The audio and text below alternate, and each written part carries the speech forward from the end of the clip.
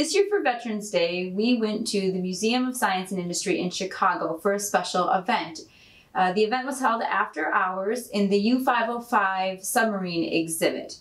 This was the first time that they had done something like this, and so we wanted to take advantage of it because we're history buffs, and the museum happens to be one of my favorites.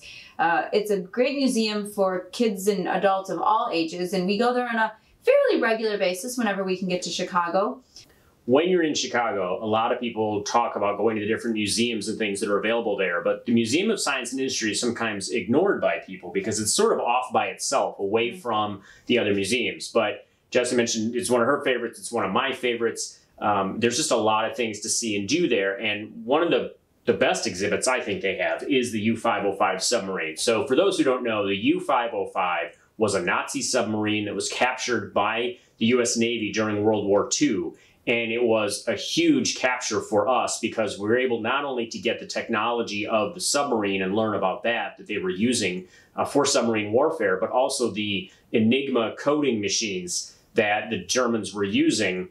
Uh, we finally had our hands on some of those and were able to start decoding some of the messages that the Nazis were using as part of their wartime plans.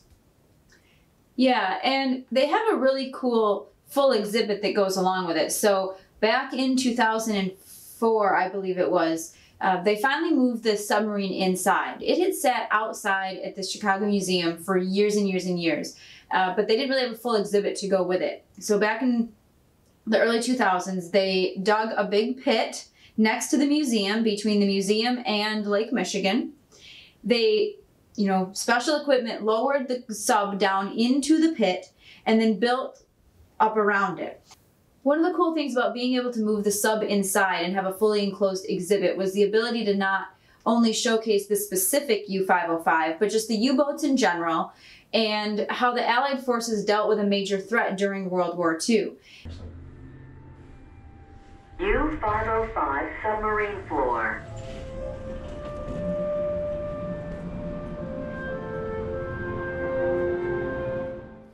One of the things that makes the U505 exhibit impressive is the way you walk into it. You you kind of you come down the the uh, elevator and you enter this part of the building where they have put the sub inside and when you turn the corner just there it is in all of its glory, I guess you would say, and you get a feel for how big this ship is that they have put inside a building. Uh, it is just something really impressive to see and to be able to walk next to and and get a feel for how big it seems. What I find impressive is even though it seems big on the outside, and truthfully, it is big on the inside, most of it was set up for the equipment, the supplies, all the controls, the torpedoes. And so trying to house 53 men in this submarine was actually a pretty big feat in of itself half the crew was on and half the crew was off at any given time, meaning that they had to hot bunk so that one crew could sleep while the other worked. And then talk about having to feed 53 people. Now, these are on a sub. That means they're out in the water, under the water, for about three months at a time. So they had to have all the supplies, about 12 tons worth, to be able to carry with them. And that's a lot of food. They shoved it in every nook and cranny that they could in that submarine.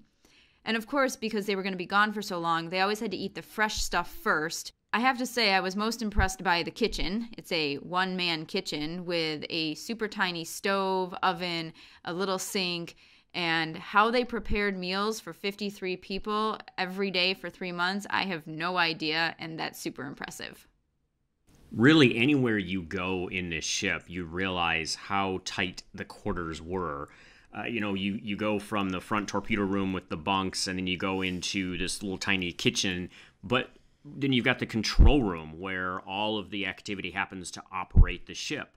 And you know, when we were there and, and people were touring the sub with us, we had what maybe half a dozen of us at a time in an area like in this control room, and we were bumping into each other and having to get out of each other's way. And so, trying to think about doing that when you're actually operating the equipment and making the ship run uh, is just incredible to think about what they went through to do that. And, you know, as you mentioned, three months out at a time and no washroom facilities. And so that was some pretty tight quarters in a very uh, hot submarine. You mentioned the um, the hot bunking. Uh, I think that was in some ways literal because they said the coolest spot on the ship would have been the front torpedo room where they slept, and it was 90 some degrees, I think. Yeah, it yeah. was hot. 90 to 100 degrees. Then, as you got back further into the ship by the engines and things, you were reaching probably 110, 120 degrees at times because they also did a lot of their tours down near the equator. So the air outside was hot, all the equipment inside, all those people in that small space.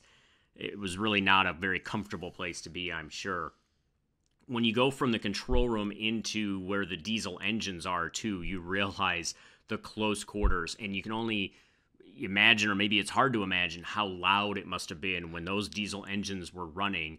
And the one tour guide said that many of the uh, german uh, sailors ended up with hearing problems or almost deaf. You know, Jessi, you mentioned that they always had one shift on and one shift off. So one shift was working and the other was sleeping.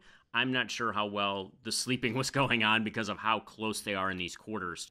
One of the neatest things about the event was specifically hearing from the curator. And unfortunately, we were not able to record his presentation, but we did learn a lot of interesting things from him and about not only just the conservation of the ship itself, but the history of the U boats in general. The U 505 entered the war in August of 1941.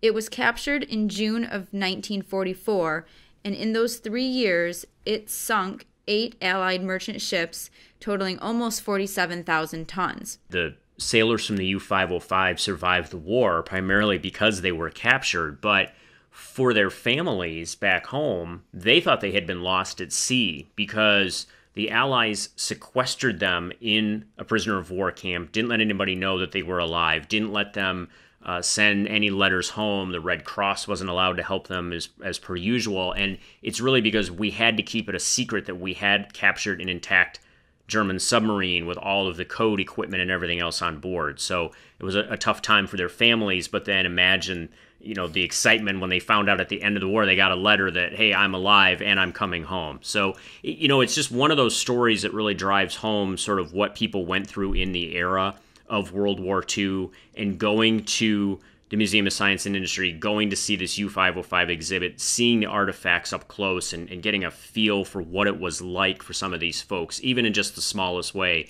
is just really impressive. It, it can be a very emotional experience for some people, and I think it's something that everybody should see we just want to encourage you that if you happen to be in the Chicago area to take a stop at the Chicago Museum of Science and Industry. Like I said, it's one of my favorites. Uh, it has everything from a coal mine to baby chicks that are hatching regularly, a huge train exhibit, uh, lots of STEM stuff, you know, science, technology, engineering, math, a little bit of art. There's a really cool dollhouse, actually, life-size dollhouse lots of cool things, including the U505. And most of that is all included in the price of your admission. The only things that are a separate charge is if you actually want to go onto the submarine, there's an additional charge, but the, the exhibit itself is free. And a couple of the other things, the IMAX Theater has a little bit of special charge. Um, but it's just, you can spend all day there and still not see it all. We we try to go there a couple times a year just because you know it's only a few hours from home and there's always just a lot going on and a lot to see so if you happen to be in the area take a stop by and enjoy the museum. So we went to Chicago and we saw a lot of cool stuff like the Yeti. Actually, we didn't really see the Yeti, no. but it felt like we saw the Yeti because it was so cold. Yes, and expensive. And Yeti are pricey.